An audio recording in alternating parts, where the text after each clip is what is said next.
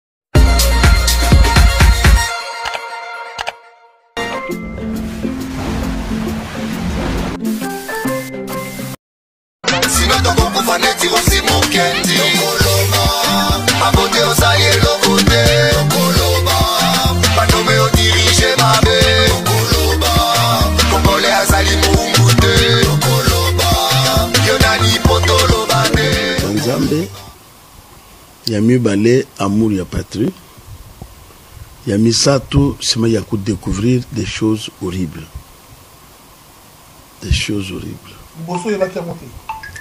Je te dis que soki nayebaki makambo na découvrir balinga bakanga na prison. Mais eveque ozo banga te que batu balobi kabila nanu ake te regime ne eza nanu aza nanu na force na armee ye na police ye makambo ebele ye ozo banga te que kaka na bureau boye pa ba koteli yo pe ba beti yo masasi. Na lobaki oyo ekoya eya. James kabiliste mawa na mawa James kabiliste mawa na mawa. Pasteur Mukuna, oh, pasteur honoraire, ancien pasteur.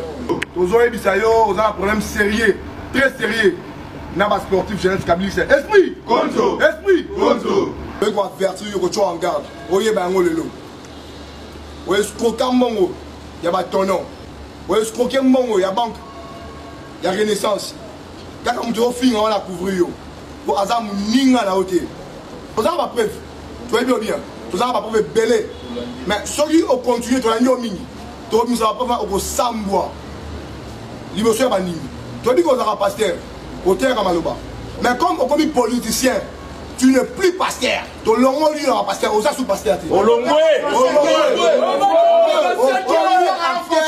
politique adversaire na biso biso bakabiliste bachaine kabiliste toza na nsima na yo tozolandela yo okomi adversaire olia mbongo ya marche ya mamadou président kabila apesa ordre na gouverneur kimbuta apesa yo mbongo toza na bapreuve soki otie tembe tokobimisa yango ver mukuna ya mibale periode ya campagne oya na quartier général ya fcc oya kozwa mbongo na campagne vertige ya mbongo elekeli ebele obosana na bosani nono chapeau nolataki okiti olobi ke oyo eza avant gout eh. oyo namoni mbongo eza awa mais lelo ochange yango mofinga kabila yebaki toza na bavideo continue tokobalanse oyo parce que pour le moment tozwi yo lokola adversaire politique oza supaster te parce que église na yo koteyaka lisusu te ozoke kaka na ba kakofinga kabila kofinga kabila mais yebaki ntango bandeki koya bavideo ezali bapreuve ezali Tokobana sango nyonso. Mawa na morgue.